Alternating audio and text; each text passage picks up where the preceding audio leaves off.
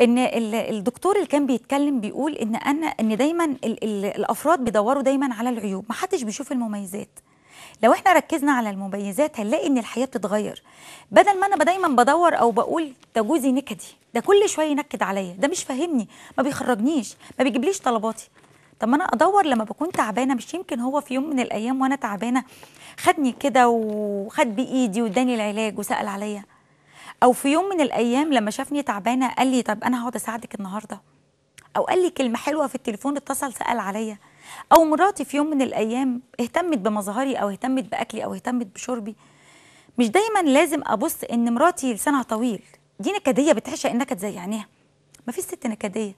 ومفيش راجل مش مش بيعرف يحتوي اللي قدامه. بالعكس والدليل على كده إن الراجل ممكن يبقى جان جدا بره في تعاملاته مع الناس لكن جوه بيته كل كراكيب الدنيا بتيجي على دماغه. وافتكر بقى الشغل ومشاكلي مع المدير والعيشة واللي عايشينها. لو أنا فضيت دماغي وشفت البيت عندي عامل إزاي. في مسلسل بتاع ولاد الناس اللي شغال دلوقتي ال- الثنائي اللي فيه أحمد وفيق ورانيا فريد شوقي مقدمين نموذج حلو قوي للأسرة المصرية. الأسرة اللي حتى لو عندها مشاكل المشاكل دي ما تتحلش قدام الولاد. أو لو حد فيهم غلط في الطرف التاني بيب يعني هو بيبدأ إن أنا أعتذر وإن أنا أقول إن أنا كنت غلطان. وإن أنا أقعد مع مراتي أو مع الشريك التاني وآخد معاه ودي معاه وأقول أنا كنت غلطان في كذا أو أنت غلطان في كذا أو يا ريت نحاول نحل الموضوع ودي بينا.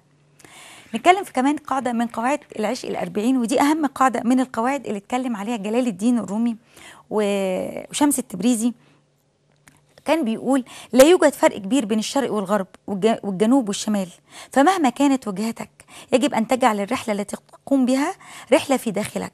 فإذا ساف- سافرت في داخلك سيكون بإمكانك اجتياز العالم الشاسع وما وراءه. ده اللي إحنا بنقوله وده اللي إحنا بنتكلم فيه. دور جواك. شوف أنت عايز تكتشف في نفسك إيه. شوف نفسك تحقق إيه. شوف إيه هي أحلامك. إيه هي عيوبك اللي أقدر أغيرها. إمتى أقول أنا هبتدي من نقطة الصفر؟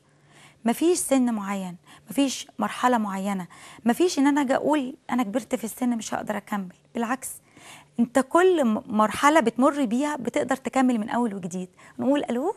مرحلة بتمر فيها